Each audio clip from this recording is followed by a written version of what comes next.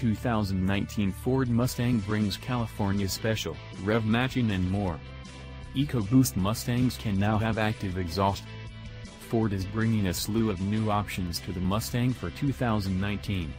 The big one is another rendition of the California Special Appearance Package.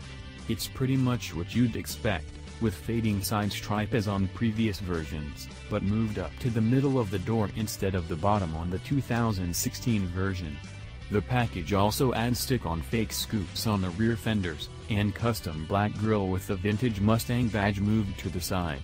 It also features a black and red California Special badge on the trunk lid, unique 5-spoke wheels, and a Performance Pack 1 front splitter.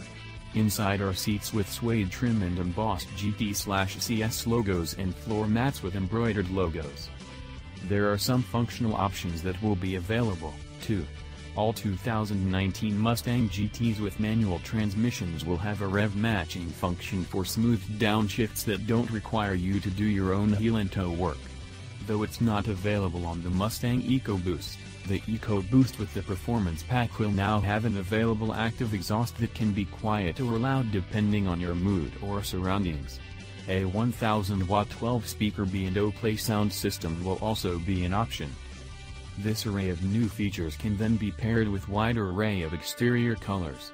Ford already showed the Bullitt Edition's Highland Green, but two new hues including Velocity Blue and Need for Green have been announced.